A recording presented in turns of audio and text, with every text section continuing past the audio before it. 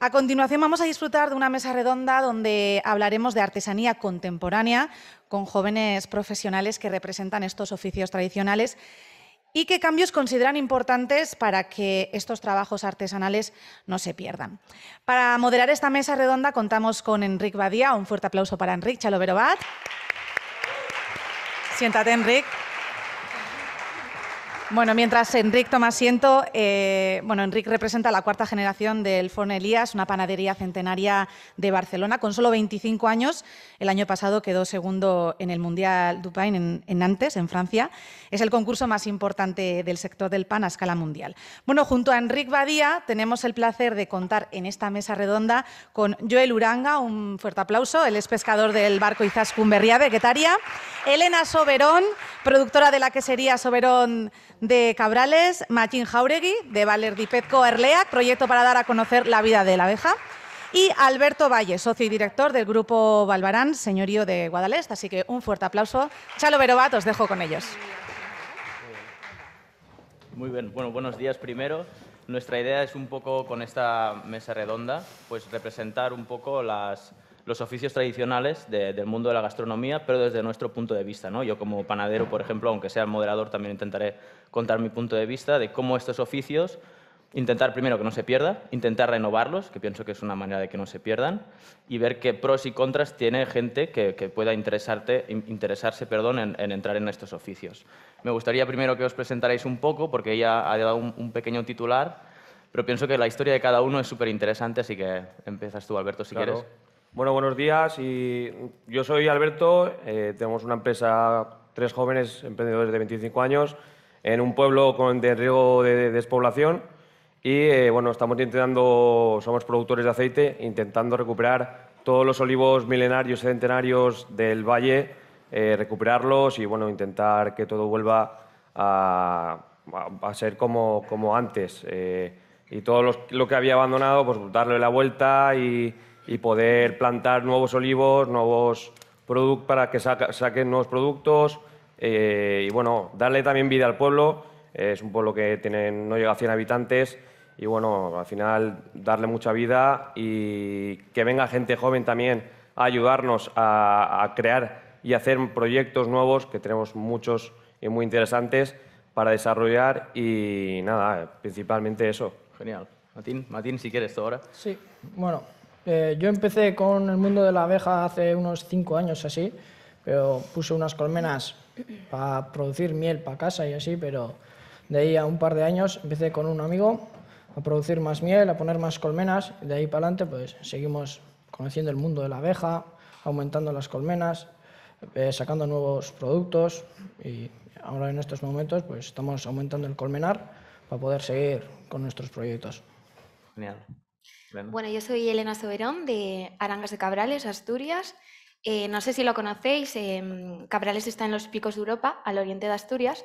Entonces, bueno, soy de un pueblo de 40 habitantes y siempre me consideré afortunada eh, de haber nacido en una zona como, como Cabrales, ¿no? Eh, yo cuando me preguntan qué es calidad de vida, pues para mí es tomar por las mañanas un café, mientras que por la mañana veo, ventana, perdón, el picurrillo. Entonces, bueno, el recuerdo de la infancia que yo tenía junto con mis abuelos en la Sierra del Cuera y demás, lo que quise hacer fue, eh, de ese recuerdo, eh, materializarlo, por así decirlo, y, y de ahí crear mi propia forma de vida, ¿no? mi empresa. Entonces creamos Ganadería que sería Soberón, tenemos una ganadería eh, de vacas casinas, no sé si la, conocéis la, la raza, eh, tú sí, ¿no? eh, bueno, de 110 vacas, tenemos vacas frisonas, unas 45 en total, y bueno, con esa leche es con la que hacemos el queso cabrales y el queso de arangas. El queso cabrales igual os suena un poco más, está en una denominación de origen, y el queso de arangas era un queso que estaba perdido, eh, que lo hacían antiguamente los pastores en la Sierra del Cuera, y que bueno, que hace dos años decidimos recuperarlo. Es un queso eh, que elaboramos en la quesería y luego subimos a madurar a las cuevas durante seis meses en mochila, eh, a una cueva que está a 1.300 metros de altitud. Y bueno, nada, eh, la verdad que trabajo junto con mi hermana y, y nada, muy, muy contenta de poder seguir. Genial. ¿Y tú, Joel, un poco? Pues yo me llamo Joel Uranga y trabajo en un barco pesquero pues, que empezó hace generaciones pues, con mi bisabuelo, bisabuelo, luego con mi abuelo, siguió mi padre y ahora pues nada, me quedan unos añitos para coger el mando, lo que se dice. Y nada, pues al final para aguantar la pesca sostenible y eso, porque al final el producto me parece, bueno, nos parece a los hosteleros y a nosotros que está mejor cuidado y como, como que el producto es mejor y pues para que no se pierda ese oficio. Genial, genial. Me cojo porque un poco ahora lo que me gustaría es que contarais cómo llegáis a estos oficios que muchas veces pienso que tienen poco, poca visibilidad, por lo tanto no es algo que cuando alguien joven se plantea qué quiere ser, no es algo que le aparezca en la cabeza si no ha trabajado antes, si no ha tenido algún familiar que, que se dedique a ello. Yo, por ejemplo, en mi caso, en la panadería, yo entré porque es el oficio de mi familia y tenemos una panadería que está en Barcelona que ahora ya tiene como 107 años, pienso así, que también es de bisabuelo, luego el abuelo, luego la madre, luego yo, así que es algo que desde siempre ha estado en mi día a día, ¿no? Yo le digo a la gente, yo el día de Reyes no habría regalos porque el día de Reyes habría que ir a hacer roscones y mi madre, entonces es algo que sé, no me, no me sorprende, sorprende perdón, el sacrificio de este oficio. ¿no? Y lo conocí a través de la familia, pero un poco que me contéis cómo llegasteis a cada uno de estos oficios, si es por parte de idea propia y emprendimiento, si es por parte de una tradición familiar o un poco... Bueno, yo como decía antes, es, em, sí que es verdad que la esencia, por así decirlo, ¿no? el alma de, de mi empresa eh, es por tradición familiar. yo me crié viendo a mis abuelos hacer el queso, entonces, bueno, em, me daba mucha pena ¿no? que, esa tradición se perdiese. Entonces fue nada, pues cuando decidí seguir con ello em, y fusionando un poco eh, la tradición ¿no? Eh, con las nuevas tecnologías y, con, y con, con, lo que conlleva el sacar una empresa hoy en día adelante. Y bueno. También a través un poco familiar. Claro, sí, tradición familiar. Matín, por ejemplo, ¿tú cómo llegas a, al sector de la miel, al mundo de la miel? Sí, yo no tenía nadie con ningún conocido en el mundo de las abejas ni con la miel y así, pero bueno, siempre he crecido en torno a montaña y así, debajo del monte Valerdi, está en Guipúzcoa, justo al lado de la Navarra, de Navarra, y empecé pues, con un par de colmenas, pues, porque siempre me ha gustado probar la miel y el mundo de las abejas. Pero de, cero, ¿eh? O sea, no, de cero, no, no tenía ningún referente, empecé y ahora, hoy en día, pues intento pues, vivir de ahí o lo que sea. Es interesante también, como sin tener ningún vínculo, tú decides apostar por ahí. Eso es. Sí, fui poquito a poquito formándome, haciendo unos cursos, conociendo más apicultores y... Genial, genial. Alberto, ¿cómo llegas tú? Bueno, nosotros, uno de los socios tiene campos en el Valle de Guadalest, en el interior del Cante, y bueno, pues con el fin de una misión de, entre los tres, intentar recuperar olivos, cuidarlos y, bueno, llegar a producir más kilos y bueno, eh, intentar hacer un producto sostenible también. Eh, tenemos productos ecológicos y productos normales, eh, normales. Y bueno, pues más que nada lo que la misión era recuperar olivos y intentar que la gente viese que la gente joven apoya la, bueno, la sostenibilidad y la recuperación de, de, pueblos que tienen riesgo de despoblación. Vaya, más que nada la misión era esa. Y bueno, pues poco a poco la verdad que va creciendo el nivel de trabajo y, estamos contentos con, todo lo que... Eso también es genial, es ¿eh? como un, negocio, como un oficio, como arrancar algo en un sitio, no es solo sacar ese producto, sino que genera un movimiento en toda la zona, o que eso también creo que es súper importante. Joel, bueno, tú nos has dicho un poco, sí, que venía familiar, ¿no? Eso es, al final, como he dicho antes, pues empezó desde mi bisabuelo, luego el abuelo y eso, y siempre vi como en la familia como que era un poco duro, un poco llevadero, pero Son al oficios duros, yo pienso en general los, los, pero, pero bueno, al final empecé, a, lo probé con 16 años o así, hace 9 años, y pues sí que decía, hostia, es duro, pero luego también tenía su parte de, sí, es bonito al final, pues estás en la mar, con la naturaleza, esto. Y pues eso, al final decidí empezar en ello y ahora pues estoy a gusto y algún día pues...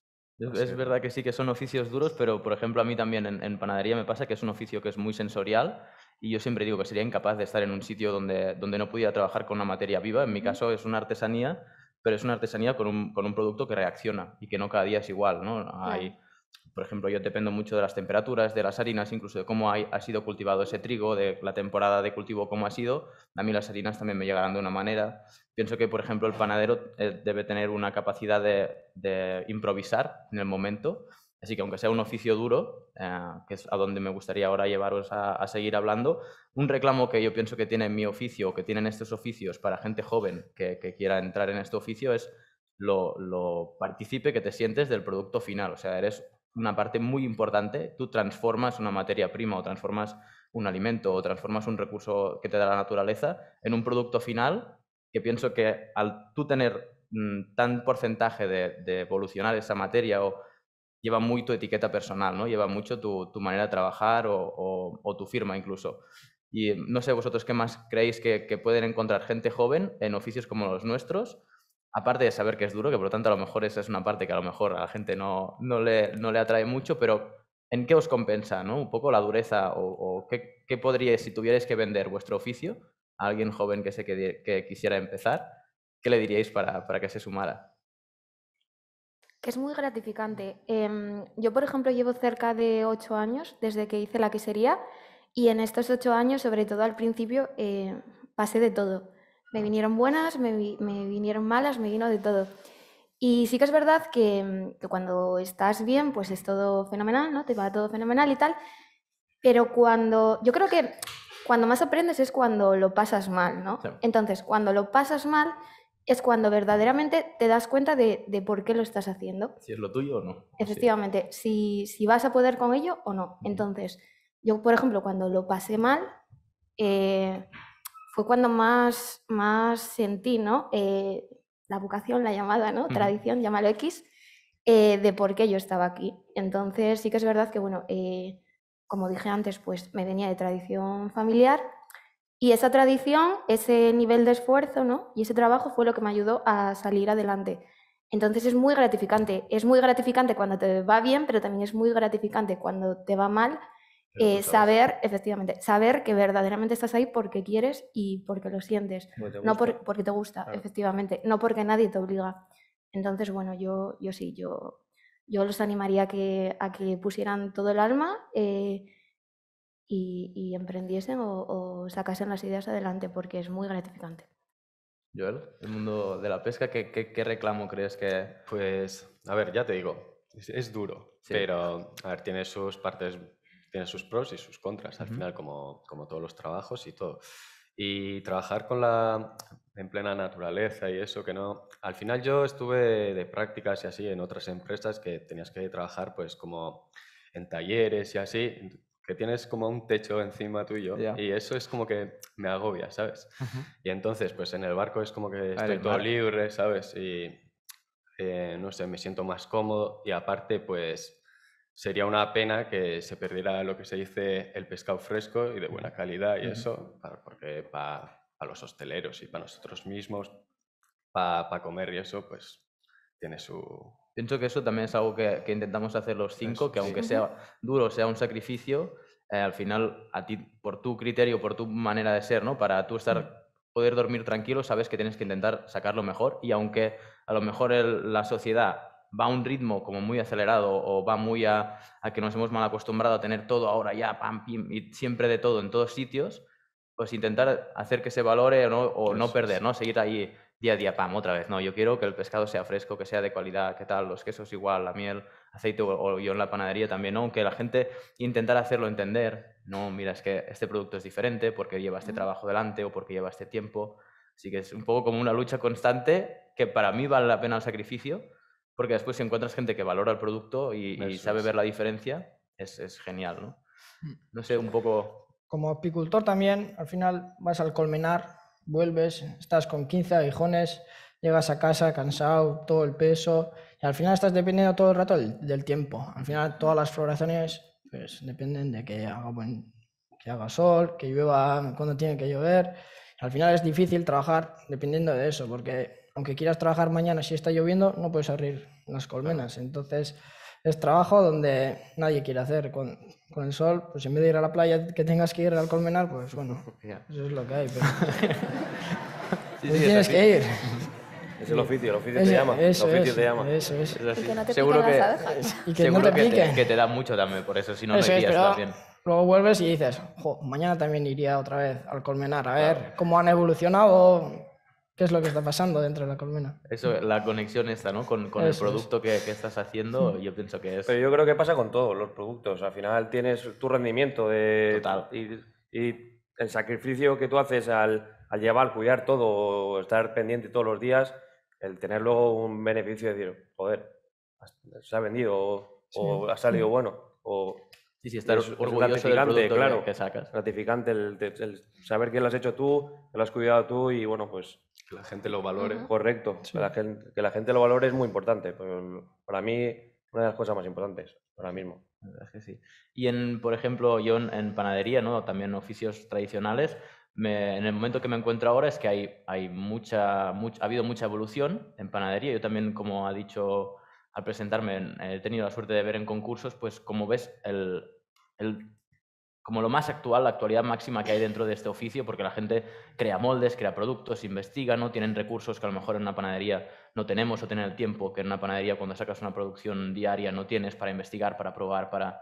Y, y hem- he podido ver como maneras muy diferentes de hacer las cosas a como las hacíamos nosotros, que no es una mala manera, sino que es una manera más tradicional, como, como dice el, eso de oficios tradicionales, ¿no? Pero intento ahora, es un momento en el que intento llevar un equilibrio entre la tradición y el respeto a la gente que me ha llevado hasta aquí, tanto trabajadores como los clientes que hace años que confían en nosotros, hasta donde yo creo que tiene que estar el oficio de la panadería a día de hoy, por lo que yo he visto.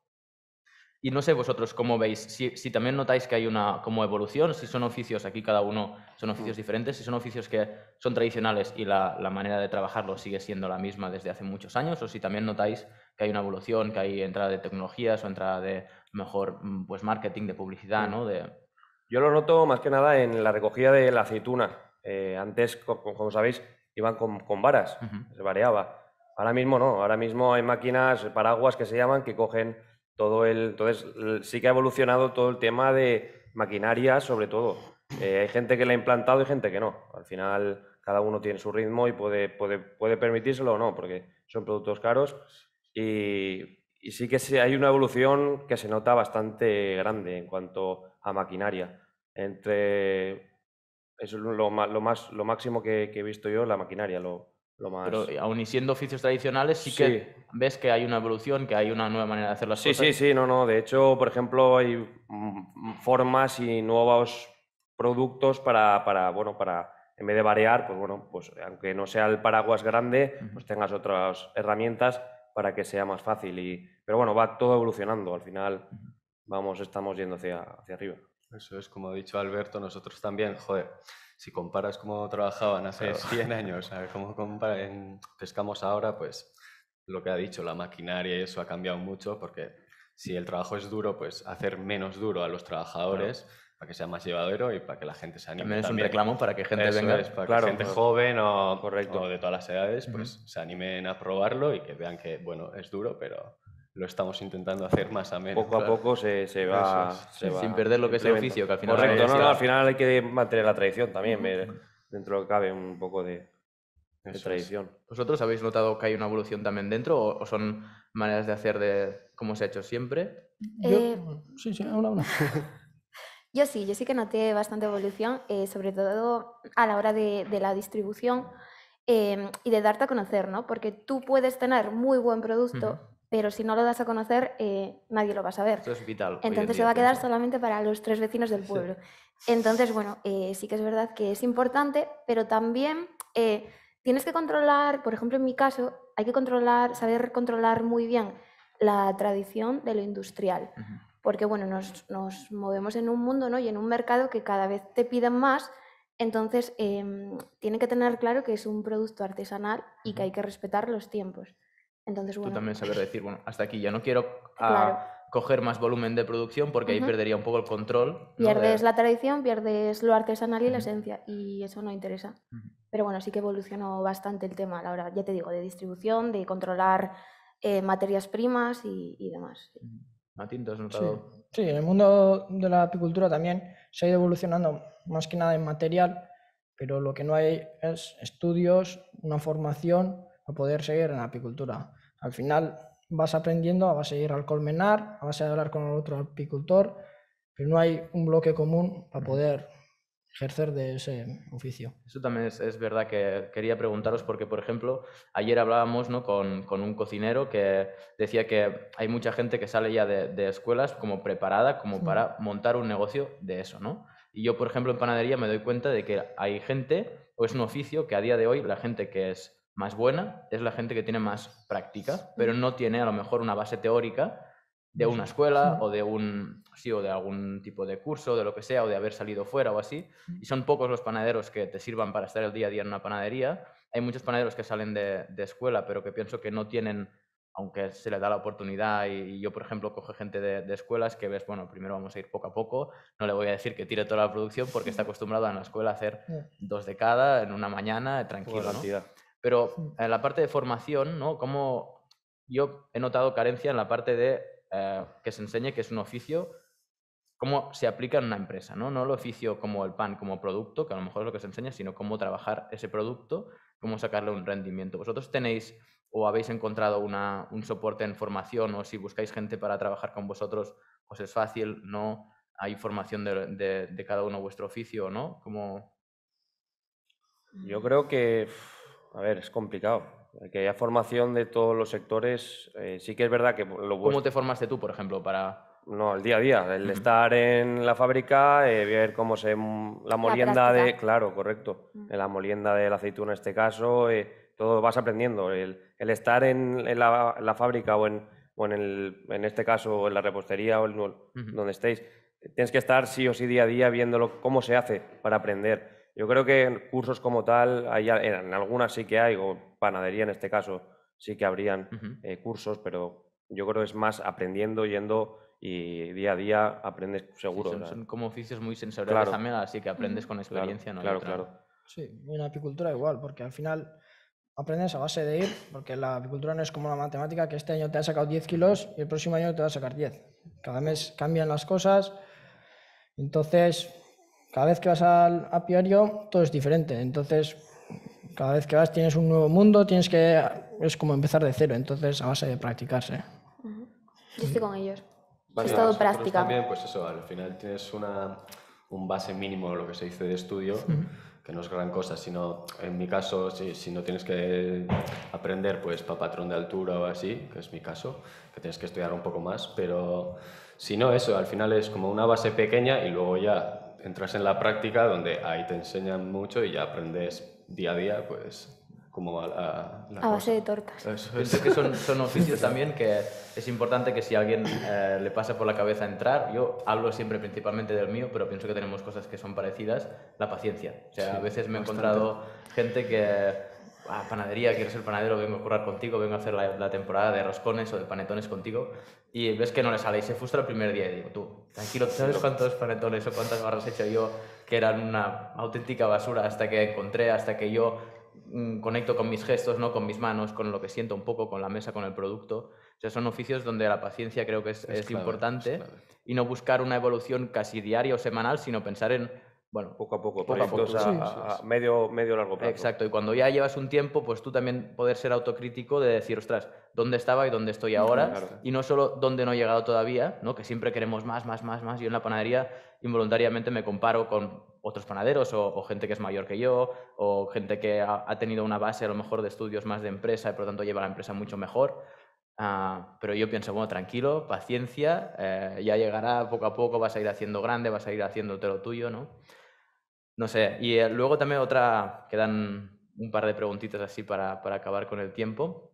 Un poco si habéis notado eh, el momento que está pasando ahora, tanto como ya han hablado antes, ¿no? Desde pandemia, eh, como estos dos años que llevamos, que no paran de pasar cosas, ¿cómo os ha afectado a cada uno? ¿O qué, qué habéis tenido que hacer? ¿Qué sacrificios habéis tenido que hacer? O si a veces momentos así llevan a innovar algo, que encuentras una, tocas una tecla que si no hubiera pasado mm. no tocas, ¿no?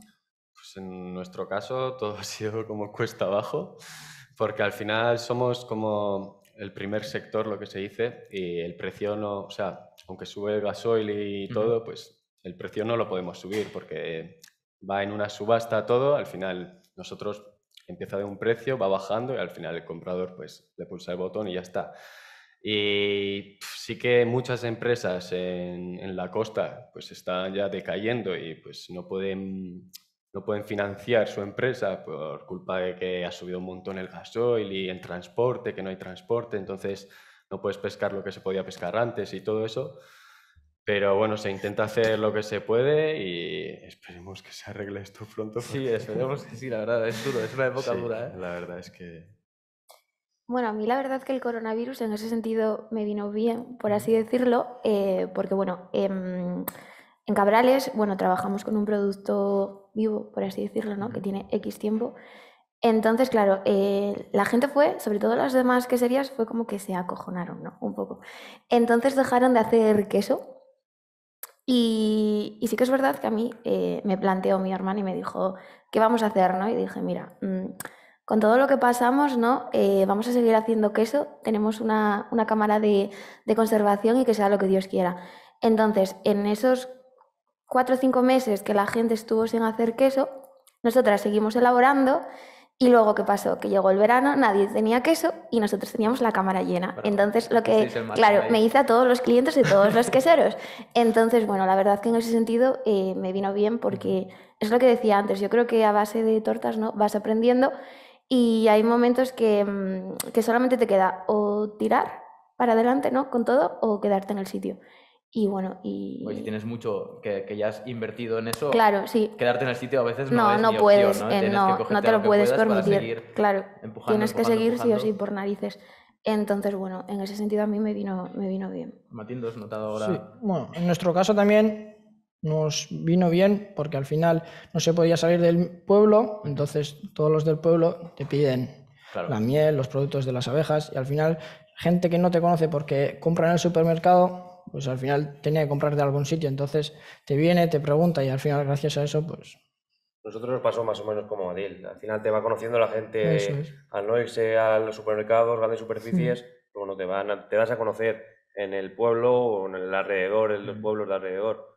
Y al final sí. eh, tienes más visibilidad y la gente te va conociendo. Yo no, Sí. notamos también en la panadería, nosotros, claro, tenemos, notamos, o sea, se contrarrestó, al final me quedé bastante igualado, ¿no? Mm. Porque teníamos mucha venta, o a mí, eh, que ahora luego hablaremos, será la última, de cómo crear conexiones con otros sectores de la misma gastronomía, ¿no? Con otras ramas de la gastronomía. A mí me gusta mucho trabajar con restauración, porque pienso que, que- que me ayuda a superarme, me- a crear productos nuevos que a lo mejor no salen en tienda. Entonces noté mucho, por ejemplo, que la restauración había parado. Dejé de tener una, una venta, como yo le llamo, sin salir a tienda, ¿no? que sale por la puerta del obrador directo, que dejé de tenerla. O escuelas también, comedores de escuelas y así, pasó a, cero. Pero luego toda esta gente que comía a lo mejor en el bar, en el restaurante, cuando iba a la oficina. Los niños desayunaban eh, en el cole o comían en el cole. Pasó a hacerlo en casa. Entonces hubo también muy, mucho acercamiento de la gente del barrio donde estoy yo, que ya, ya era mucha gente la que confiaba en nosotros, pero había más gente que en lugar de ir a hacer el croissant en el bar al lado de la oficina, pues se bajaba, se lo compraba a nosotros y se subía. Como nosotros pudimos seguir abiertos porque era como servicio mínimo. Y también nos ayudó a que la gente valorara mucho el hecho de que estuviéramos ahí cada día, ¿no? Y hubo también este boom de que todo el mundo hacía pan en casa. Entonces también nos ayudó a que la gente se diera cuenta que no es fácil tener una regularidad en un, en un producto como el pan que está vivo, pues si a ellos les costaba, obviamente, sin, sin conocimientos y así, sacar un pan un día en, en su casa, se daban cuenta como de lo inestable que es eh, la fermentación, ¿no? Y nos decían, ostras, me decían, pero tú, ¿cómo hacéis para que cada día el pan nos quede igual si es una, es una puta locura, ¿no? Así que también tuvimos la parte negativa de que la restauración y los colegios, pues, eh, No había de golpe sí, no teníamos servicio, pero la parte positiva de que la gente se acercó, ¿no? Volvió un poco a, A la panadería ¿no? de su barrio, a. a preguntar, a ver, a, a bajar un poco el ritmo. Pienso que eso nos ayudó a todos a bajar el ritmo. Sí. Y ahora para acabar, nos quedan nada, cinco minutitos. Ah, ¿Cómo veis la, esto, no? ¿Cómo podemos conectar nuestros oficios, que pienso que son productos muy clave y que están muy en el día a día de la gastronomía, ¿no? Como de- incluso de, sí, de la gastronomía. ¿Cómo creéis que conexiones con otras ramas ¿no? de, de este mundo nos pueden hacer, nos pueden ayudar? ¿Podemos nosotros proponer algo, que ellos nos exijan algo que nos ayude a subir de nivel? ¿O os habéis encontrado con que as- asociándoos a veces con, con otros productores o con otros trabajadores os ha ido mejor, peor? Yo creo que es toda una cadena, ¿no? Entonces, em, es importante saber trabajar con el de al lado, ¿no? Y, y compartir pues, experiencias, opiniones y demás. Entonces yo creo que, mm, que si enfocas ¿no? em, tu trabajo a la parte colectiva, por así decirlo, eh, siempre va a ser mucho más beneficioso que si Yo- te quedas... Sí, yo creo que ahí al final nos tenemos que apoyar entre todos, Claro. eh, los jóvenes y saber que, bueno, cada uno lo, lo que puede ofrecer o lo que puede ayudarnos entre todos, que al final somos todos uno. Y, Claro. y todos con el mismo objetivo. Claro.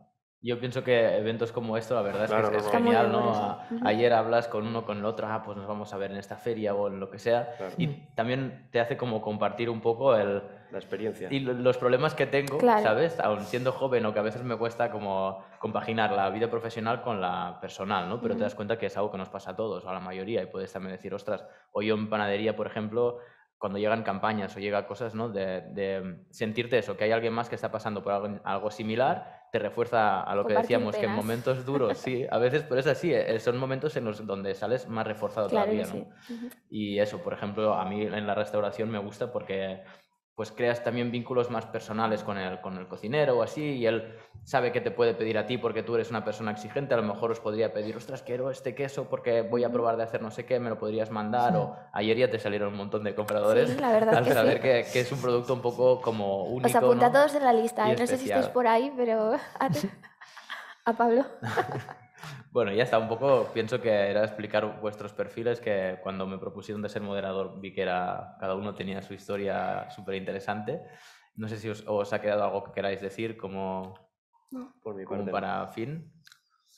No, está genial. Bueno, espero que, que os haya parecido interesante y eh, nada, ha sido un placer por nuestra parte.